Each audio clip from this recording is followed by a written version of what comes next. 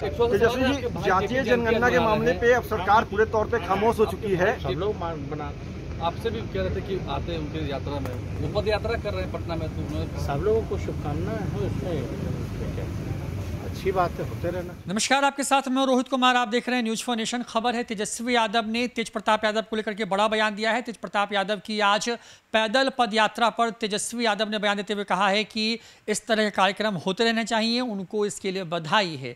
आपको बता दें कि तेज प्रताप यादव ने इसके पहले बीती रात तेजस्वी यादव को अपनी पदयात्रा में शामिल होने का न्योता मीडिया के माध्यम से दिया था, लेकिन तेजस्वी यादव शामिल नहीं हुए।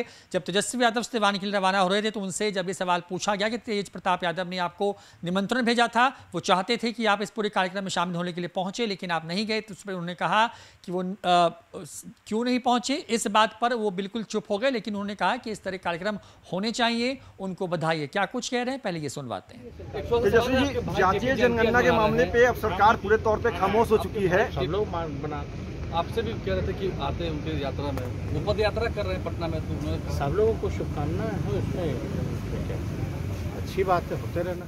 आपको बता दें कि तेज प्रताप यादव ने जेपी के जयंती के मौके पर आज पैदल मार्च कार्यक्रम का आयोजन किया, जिसके तहत वो पटना के जो चरखा समिति है, वहाँ पहुँचे। वहाँ पर माल्यार्पण किया। इन तमाम खबरों के बीच में तेज प्रताप यादव ने तेजस्वी यादव के बीच लगातार जिस तरीके से दोनों भाइयों के बीच में तकरार बढ़ी हुई है, उसको लेकर के तेजस्वी यादव को न्योता दिया था। कहा था कि वो इंतज़ार करेंगे, अगर वो शामिल होते हैं तो अच्छा लगेगा, लेकिन तेजस्वी यादव शामिल नहीं हुए। आपको बता दें कि तेजस्वी यादव और तेज प्रताप यादव के बीच में जगदानंद सिंह के मामले के बाद से लगातार तनातनी दिख रही है। तेज प्रताप यादव लगातार तेजस्वी यादव और उनकी खास करीबियों के खिलाफ मोर्चा खोले हुए नज़र आ रहे हैं। क्या कुछ कह रहे हैं तेजस्वी यादव? छोड़ जाते हैं पूरे बयान के साथ। कार्यक्रम विवाह है उसमें निकाह में हम लोग जा रहे हैं तेजस्वी जी बहुत चरण दास कह रहे हैं कि अगर आपने कैंडिडेट वापस नहीं लिया तो गठबंधन टूट जाएगा। इस पे हमको कोई बात नहीं हम लोगों ने कहना बात हम लोगों ने कह अच्छा बिजली संकट को लेकर ये चर्चाएँ हो रही हैं एक बड़ा मुद्दा है। बिजली संकट जो है वो गहरा सकता है। ऐसे में राज्य सरकार करिए कि हम देखवा रहे हैं। और वो कह रहे हैं विपक्ष भ्रम फैला रहा है। देश भर में विपक्ष भरम फैला रहा है। ऐसा पूरे देश भर कोई भ्रम नहीं है जो हकीकत है वही। इसमें तो बाकायदा हमने ट्वीट भी करके बताया। पूरे देश में जो है संकट आया हुआ है इस चीज़ को लेकर। के आगे देखते हैं कि इसका जो है कैसे ये लोग क्या करते हैं। राज्य सरकार से उम्मीद है राज्य सरकार से उम्मीद है इसको जल्द देखेगी क्योंकि फिर राज्य को जनता को काफ़ी तकलीफ़ जो राज्य सरकार के पास है वो भी बर्बाद कर दिया।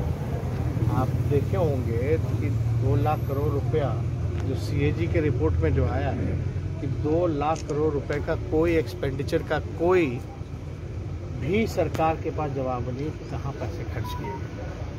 तो दो लाख करोड़ रुपया तो जनता का लोगों ने बंटाधार कर दिया उसका कोई जवाब ही नहीं है सरकार। तेजस्वी जी जातीय जनगणना के मामले पे अब सरकार पूरे तौर पे खामोश हो चुकी है। सब लोग बना आपसे भी कह रहे थे कि आते हैं उनके यात्रा में। वो पद यात्रा कर रहे हैं पटना में तो उन्होंने सब लोगों को शुभकामनाएँ हैं उसमें। उसमें अच्छी बात है होते रहना चाहिए। लखीमपुर में जो घटना हुई है तेजस्वी जी